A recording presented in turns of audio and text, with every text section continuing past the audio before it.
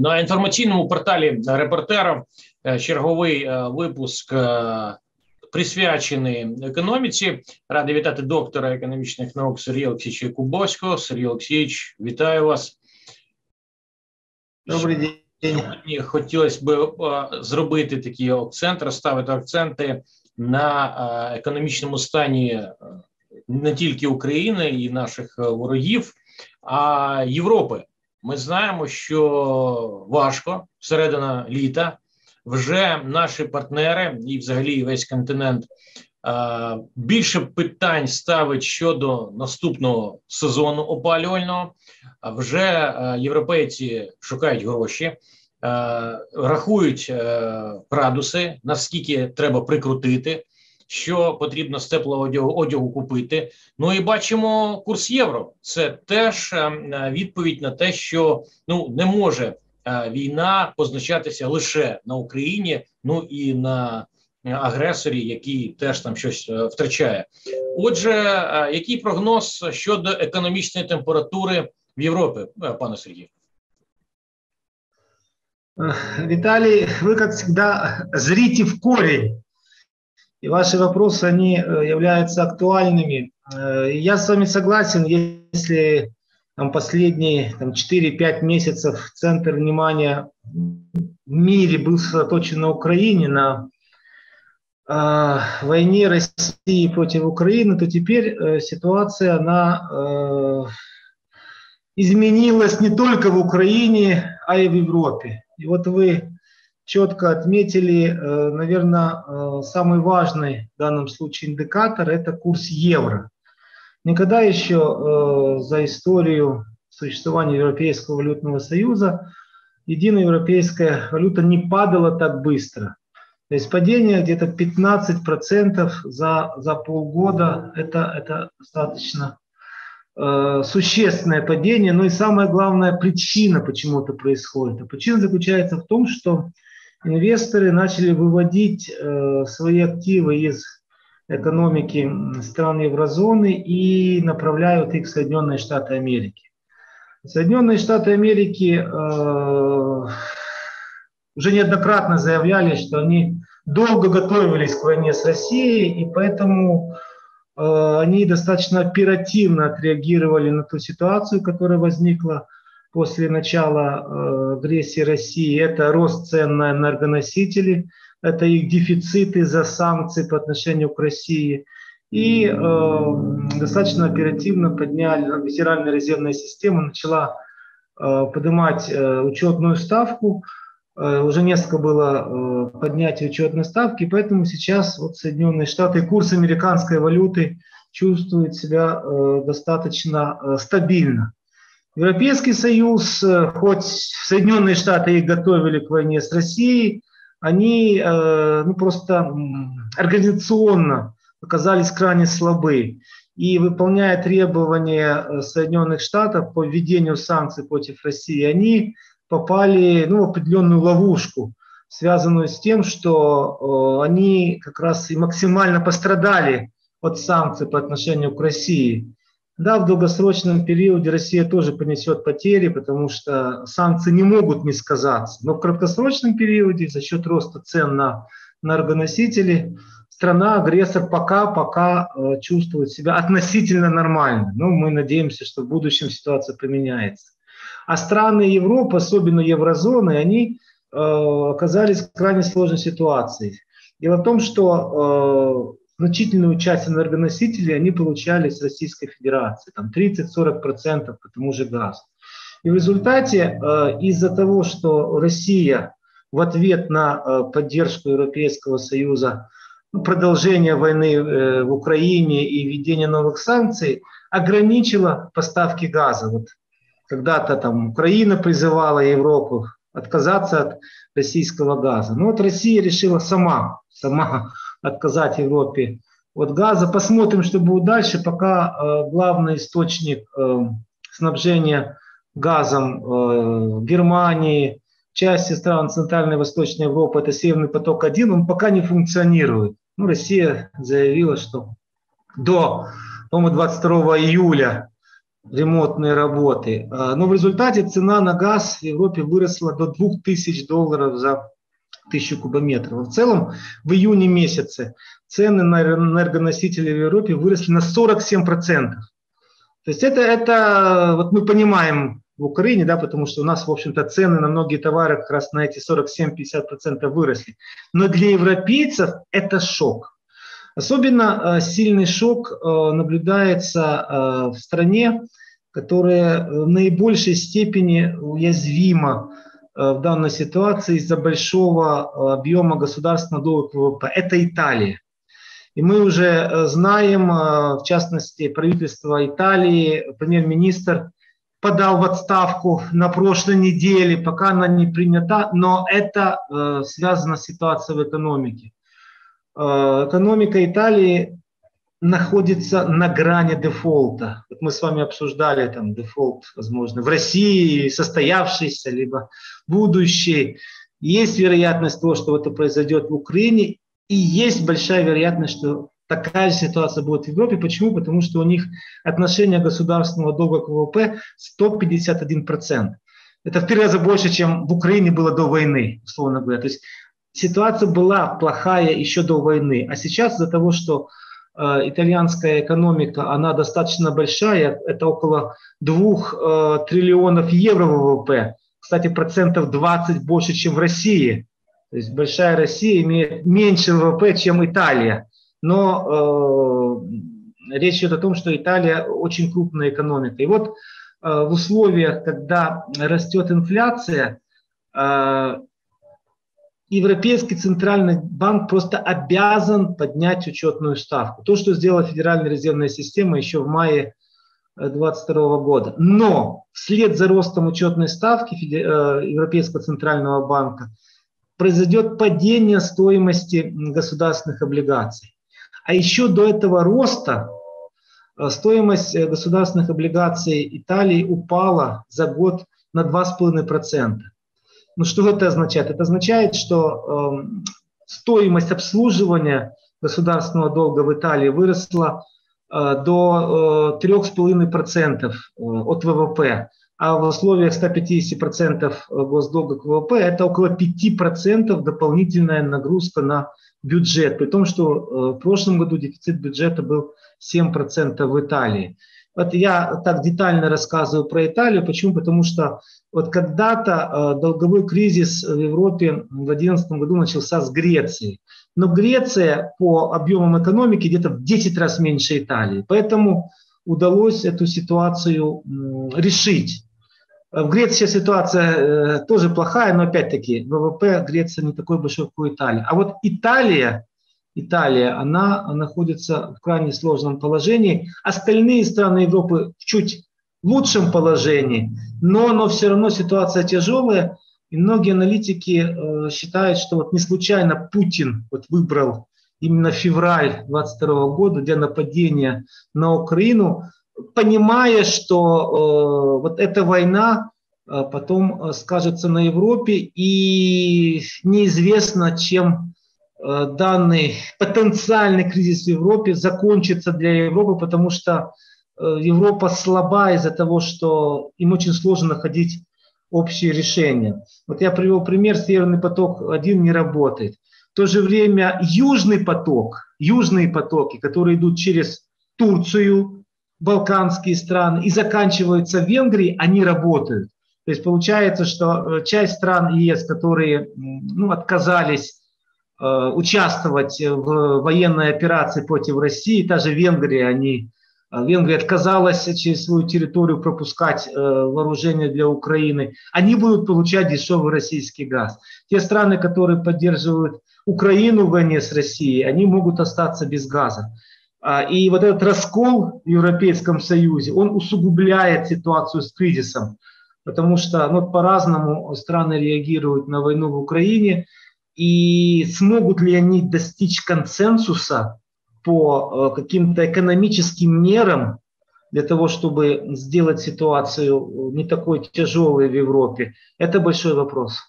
Ну, ми дійсно бачимо на прикладі Італії, що економічні наслідки вони немов принцип такий доміно впливають на політичні рішення. І ось є перша ластівка в вигляді в обличчі Маріо Драгі, який майже однією ногою там. Можливі ризики і для інших інститутів, інституцій політичних інших країн. А я нагадаю, що з цими людьми, з цими керівниками важко, але вів переговори президент Зеленський, вступав в телевізійні мости, щось доводив, проводив розмови, е, склоняв, е, схиляв, точніше, схиляв е, для того, щоб вони підтримували Україну ці політичні рухи. І ось якщо люди, політичні лідери, будуть змінюватися, то все заново потрібно буде повторяти. Я так розумію, діалоги про підтримку, про постачання зброї, про постачання якихось там фінансової допомоги. Все ж таки приємніше вести розмову з передбачувальними політичними лідерами. Я так бачу. Вы абсолютно правы. Э, ну и при этом, э, если, например, э, Марио Драги окончательно уйдет, то будет новый премьер-министр от новой коалиции, которая вряд ли согласится на ту экономическую политику, которую проводила Италия по отношению к России, по отношению к санкциям. Понимаете, ведь Э, не зря я сказал, что вот есть Венгрия, где относительно все нормально, и венгры подчеркивают, почему? Потому что они э, поддерж... ну, придерживаются нейтралитета и не участвуют в поддержке России либо Украины напрямую в условиях войны. Те страны, которые ввели санкции против э, России, плюс э, еще они поставляют вооружение Украины, они оказываются в более сложной ситуации. И, возможно, очень многие э, в этих странах решат, что а зачем им нужна эта война в Украине, зачем им надо участвовать, если они страдают.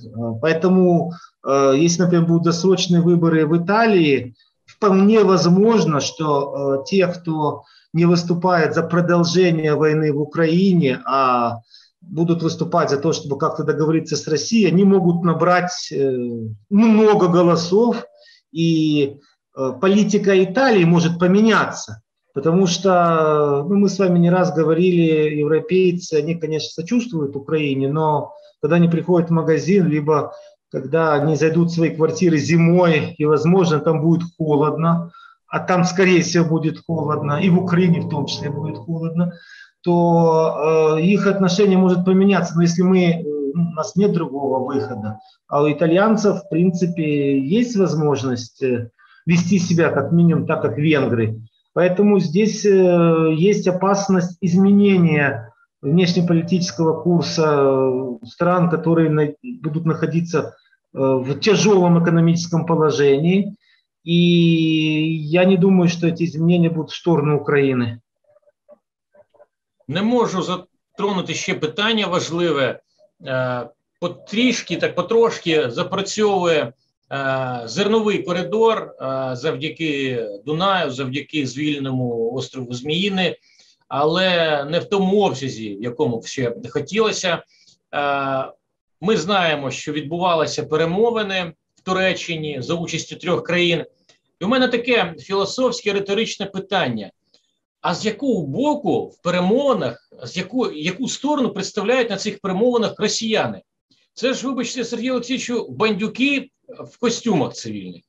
Ну як можна з цими людьми домовлятися? Тобто турки знають, що Росія це країна, яка е, веде перемовини з точки зору окупанта е, країни, яка блокує Україна. Наші представники теж знають, що ось поруч з ООН, поруч з Туреччиною сидить. Сидять представники країни в кроватках, в рубашках, в піджаках, всі всі такі е, причесані, помиті, поголені, і вони е, представляють е, країну, яка захопила, яка чинить перепони, яка без якихось дозволів законів претендує на зерно і відверто його там краде. І ось вона теж бере участь в цих е, перемовинах. Я навіть місця собі з цього приводу не находжу, Сергій Олексійович. Не знаю, як ви. Виталий, да, я знаю вашу всегда патриотическую позицию, я в целом с вами согласен, но вы понимаете, э, так было, э, в общем-то, всегда. Э, были предыдущие войны России и с Японией, и с Финляндией. Э, ну, понимаете, к сожалению, это данность. Мы находимся рядом с Россией. Россия очень мощное государство. К сожалению, для нас, э, ну, я надеюсь, что когда-то эта страна повторит судьбу СССР, э, но, но пока, пока, пока у них огромный военный потенциал, и, ну, будем говорить, они сильнее нас, они сильнее, поэтому вот нам не удается э, пока наравне с ними сражаться, хоть украинцы погибают, геройски сражаются, но но, но это Россия. И Наполеон проигрывал, и Гитлер проигрывал, и другие. Почему проигрывали? Потому что Россия отличается от Украины. Понимаете, э, в России огромное население. И э, Россия делится на две э, неравные части. Есть, условно говоря, Москва, Санкт-Петербург, где люди достаточно прогрессивные. И я уверен, что подавляющая часть их выступает против войны. Как виступали против других воїн в історії. Так вони ну, не воюють, часть... не воюють ці люди. Вибачте, що перебуваємо, вони не воюють. Воюють там дагестанці, Забайкальє, там Улан-Удэ, э, Иркутск, а Питер с Москвой не воюють, вони спостерігають.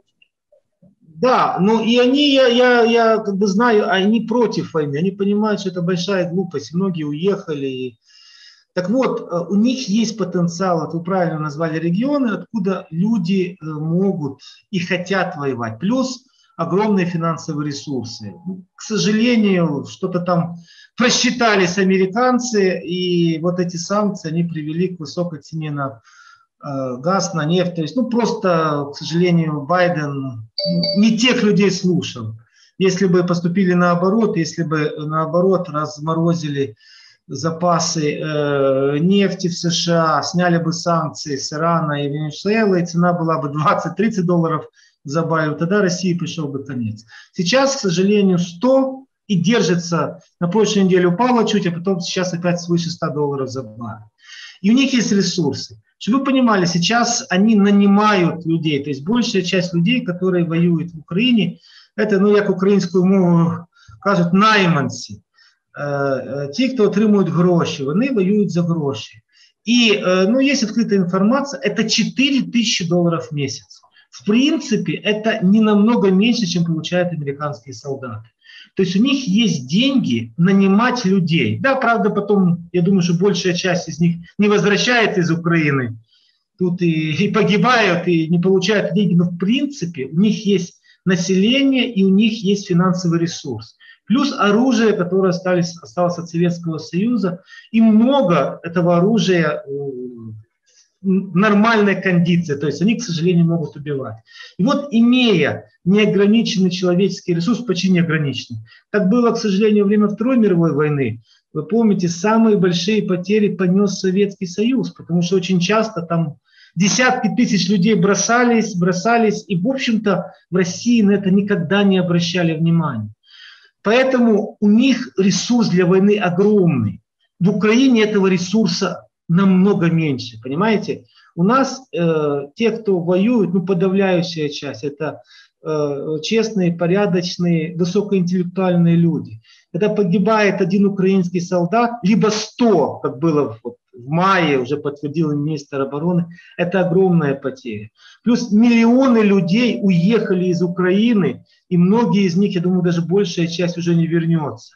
Понимаете, к сожалению, наши партнеры так сделали, чтобы люди там оставались. Я понимаю, им хочется оставлять себя украинок, украинских детей, которые достаточно талантливы, понимаете, это не жители э, из стран Африки, которые не знают языки, которые не интегрированы и тяжело интегрированы. Украинцы легко интегрируются в Европу. То есть мы, мы, мы теряем каждый день. А Россия хоть она и теряет, для нее это не важно.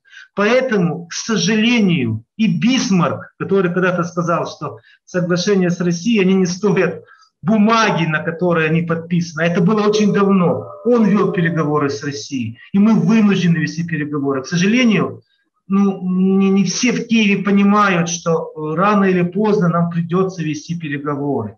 Касательно зерна, э, переговоры, почему Россия их ведет?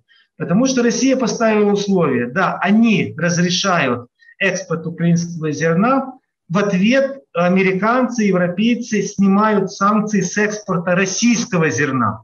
То есть Россия получит возможность беспрепятственно на кораблях, которые сейчас э, во многом из-за санкций не могут вывозить российское зерно, вывозить в том числе и свое зерно. Я думаю, что под шумок они будут вывозить зерно и из Херсона, и из Мариуполя, из оккупированной части. То есть я думаю, что это уже есть, где-то вот есть такая информация, и оно будет. Но мы, нам это необходимо. Почему? Потому что то, что рассказывают в Киеве по поводу зернового коридора через Дунай, ну, ну знаете, я понимаю, что в условиях войны надо побольше хорошего говорить, но реально через Дунай, особенно из-за того, что проходная часть Дуная, она все-таки находится на территории Румынии, и э, нельзя сравнить грузоподъемность э, речного корабля и морского, который может вести зерно и в Африку, и в Азию, да, то это ну, больше сделано для того, чтобы показать, что какие, какой-то есть прогресс. Реально,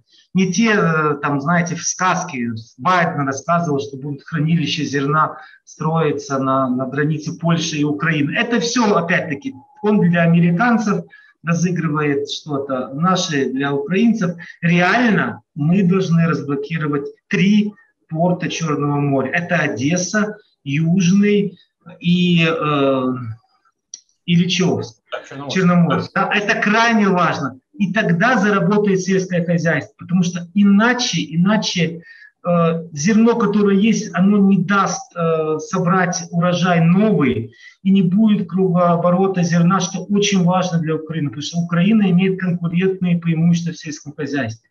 Вот в ближайшие дни должны пройти переговоры в Стамбуле они очень важны. Опять-таки, я понимаю, что неприятно сидеть за одним столом с представителями страны-агрессора, но, повторюсь, Бисмарк садился, зная, какая Россия. К сожалению, без этого не обойтись.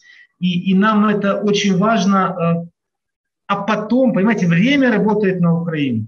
Путин не бессмертен. С каждым годом его власть будет слабеть и слабеть, как Сталина. Когда был Сталин во главе э, Советского Союза, и внутри страны миллионы гибли, и вне страны гибли. То есть, когда тиран приходит в Россию, то, то, то это страшно. Но потом был Хрущев, был Брежнев, Горбачев и так далее. Да? То есть и Россия поменяется с уходом Путина, и он очень скоро уйдет, если э, удастся э, ситуацию поменять если э, он расслабится, его, его уберут, потому что в России есть умные люди, они прекрасно понимают, что этот диктатор ведет к развалу России. Но нам сейчас, нам сейчас нужно э, выиграть время и сохранить жизни украинцев, сохранить украинскую экономику. И здесь экспорт зерна крайне важен. Поэтому я считаю, что это все-таки правильно проводить переговоры в Стамбуле. И если удастся договориться, особенно э, благодаря стараниям Турции. Турция, конечно, свою выгоду преследует, но, но в данном случае мы можем потерять 20-25%, потому что комиссия будет турецкая большая, турки не из тех, что что-то делают бесплатно, но, но, но это, это, это правильный подход, и надо идти по нему, иначе мы Э, крайне усложним ситуацию в сельском хозяйстве Украины, в экономике в целом, в портах, потому что, понимаете, это же не только про тех, кто выращивает зерно, это зернотрейдеры, это, э, это те, кто связаны с портовой инфраструктурой, а у нас она, кстати, высококонкурентная, вот в Одессе, в Южном, Черноморске, и люди должны ну, получать зарплату, понимаете, потому что им приходится, им надо кормить свои семьи, то есть эта ситуация ее нужно решить, как и ситуацию с тем, чтобы моряки начали выезжать из Украины. Это крайне грубая ошибка, то, что их не выпускают, потому что люди ищут другие пути, и это неправильно. Должен быть законный путь работать на Украину. Кто-то воюет, кто-то работает в экономике и платит налоги. Но вот эти искусственные ограничения, которые есть, они во многом вредят Украине. Ну, про моряків я повністю з вами згоден. А підсумовуючи зернову тему і перемовини з Росією, взагалі перемовини з Росією, так вони мають рано чи пізно відбутися, але не на умовах капітуляції України. Ми це з вами розуміємо, що ми не можемо там торгувати територіями. Це аксіом. Це аксіом. Але ну я с вами согласен. Вот как вот сейчас, да, по поводу зерна.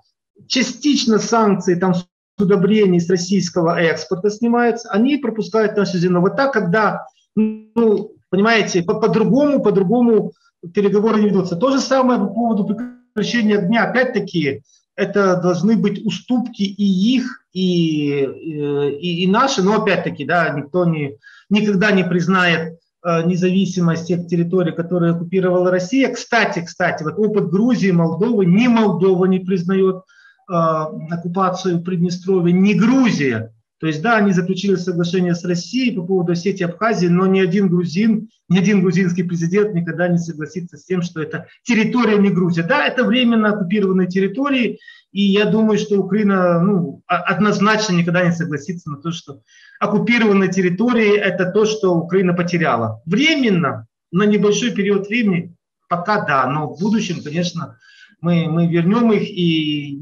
ни о каком э, ни о каком торге территории, ну, в принципе, да, не может быть и речи. Я думаю, что это однозначная позиция всех украинцев, включая наше руководство.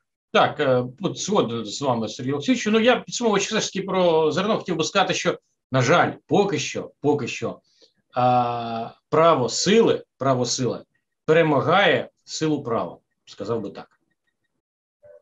Виталий, и, к сожалению, не один век это наблюдается. Мы надеемся, что 21 век будет век гуманизма, э, век... Законности, когда... законности, Сергей Алексеевич. Хотя, хотя законности, да. Був закон, Бог з ним з гуманізмом. Вже ми, на, на жаль, людина вона невеличка, але якщо є закони, є право, міжнародне право. Поки що будемо бажати, щоб ну настануть часи, коли воно хоча б буде виконуватися. Хотів побажати нам всім цього. Ну, будем надеяться, ну хотя бы, чтобы у нас стало в Украине легче, потому что, ну реально, реально, действительно, ну самые лучшие, ну одни из самых лучших людей погибают, и вот. честь и слава им, но, но, конечно, Украина страдает максимально. Мы говорили про Европейский Союз, они, да, поставляют оружие, дают деньги, но, кстати, дают очень мало денег. Знаете, вот здесь надо тоже занимать жесткую позицию, крайне жесткую, потому что мы защищаем не только себя, мы защищаем вообще ценности западного мира, мы защищаем Соединенные Штаты, Европу в Украине. И когда, знаете, дают э, вместо 5 миллиардов, что тоже мелочь для них, дают нам э, там пару миллиардов, и, например, то, что вот правительство отказалась от повышения пенсий. Ну, вы же видите, насколько выросли цены. То есть, понимаете, то, что э, даже в такой мелочи нам отказывать, здесь я вот считаю, что, конечно, президент должен занять э, однозначно жесткую позицию. Если вы с нами, то хотя бы дайте денег, чтобы пенсионеры наши не голодали, которые, ну, то есть, э, ну, то есть, понимаете, поэтому здесь, здесь э, необходимо жесткую внешнюю политику проводить и реально, реально ставить вопрос ребром. Если вы с нами, то не делайте так, чтобы мы шли с протянутой рукой и выпрашивали, в общем-то, каждую пушку, каждый снаряд и каждый доллар э, в той ситуации, в которой мы находимся, потому что ситуация вот в Европе сложная, но ее нельзя сравнить с той, с той ситуацией в Украине, когда и воздушные тревоги, и обстрелы, и гибели, и, и ситуация в экономике, она становится все хуже и хуже, потому что мы заблокированы, нет инвестиций, э, и, и крайне сложно развиваться под э, под обстрелами. Поэтому тут э, я считаю, что позиция наших партнеров должна поменяться и немножко по-другому они должны себя вести. Не думать о том, какая там у них инфляция 8-9%. Все равно это намного ниже, чем в Украине. И уровень жизни у них значительно выше, чем в Украине. Поэтому в любом случае, вне зависимости от того, кто там будет премьер-министром Италии, я очень надеюсь, что страны будут правильно понимать ситуацию, и Украина не останется без э, значительной финансовой помощи, которую мы заслуживаем, потому что мы своими жизнями э, это заслужили. Дякую, Сергію Олексійовичу. Будемо чекати на гарні новини, на добрі новини. Успіхів нам всім. До наступних зустрічей в ефірі нашому. Спасибо, спасибо.